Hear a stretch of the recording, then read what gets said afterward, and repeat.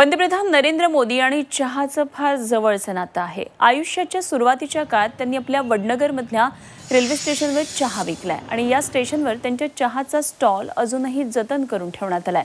थेट वडनगर स्टेशनवर जाऊन आमचे प्रतिनिधी विनोद पाटील यांनी घेतलेला हा आढावा.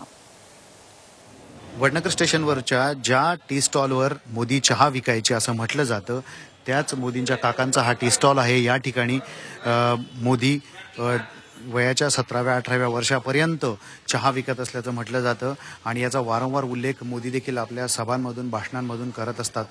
हा ह्या ह्या जो स्टॉल आहे हा त्यांच्या काकांचा आहे. काकांसोबत ते इथे वडनगर स्टेशनवरती चहा विकण्याचं काम करत असत. आणि सगळ्यात महत्त्वाचं म्हणजे आता या वडनगर स्टेशनच्या नूतनीकरणाचं काम सुरू आहे. फार मोठ्या प्रमाणात हे काम सुरू आहे. इथे आधी मीटर गेज ही रेल्वे होती मेसाणाहून येते आणि पुढे तीस किलोमीटरवरती ती जात असते. परंतु आता ती ब्रॉडगेज करण्यात येणार आहे पुढच्या काळात. तिचं इलेक्ट्रि इलेक्ट्रिफिकेशनही होणार आहे.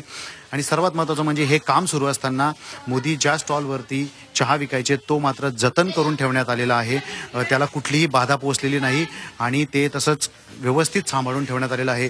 आणि पुढच्या काळात हे जे काही मोदी चहा विकत होते ते जे काही हे दुकान आहे स्टॉल आहे तर त्याचा कदाचित स्मारकातही रूपांतर होऊ शकतं असंही म्हटलं जातं. त्याच्यामुळे आपण मोदींच्या या आठवणी या टी स्टॉलच्या रूपानं या वडनगरच्या स्टेशनवर कायमच जतन केल्या जातील. व्हिडिओ जर्नलिस्ट सुमेश भालेरावसह विनोद पाटील झी मीडिया वडनगर.